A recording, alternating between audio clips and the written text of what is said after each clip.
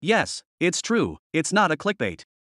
One of the most significant political issues in Papua New Guinea in recent years has been the independence movement in Bougainville. Bougainville is an autonomous region located in the eastern part of Papua New Guinea. The region is known for its rich natural resources, including copper, gold, and timber. The Bougainville independence movement began in the 1960s when the Australian colonial government granted mining rights to a multinational corporation, causing significant environmental damage to the region. In 1989, Bougainvillians declared independence, leading to a decade long civil war that resulted in the deaths of thousands of people.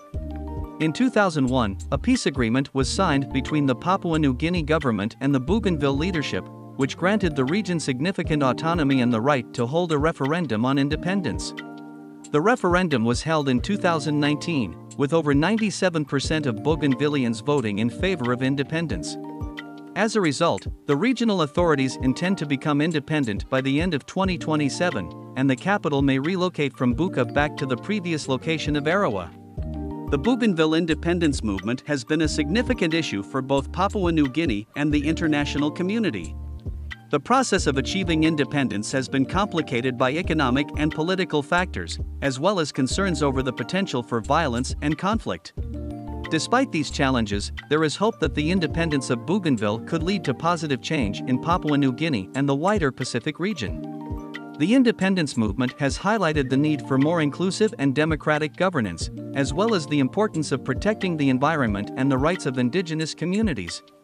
In addition to the political and economic challenges facing Papua New Guinea and Bougainville, both regions have also experienced significant social changes in recent years.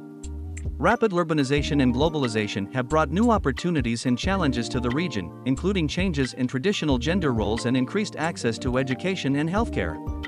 However, these changes have also led to the loss of traditional cultural practices and languages, and the erosion of traditional social structures. This has led to concerns about the preservation of indigenous cultures and the need for more inclusive and sustainable development strategies. In conclusion, Papua New Guinea and Bougainville are two fascinating regions that are rich in cultural and natural diversity.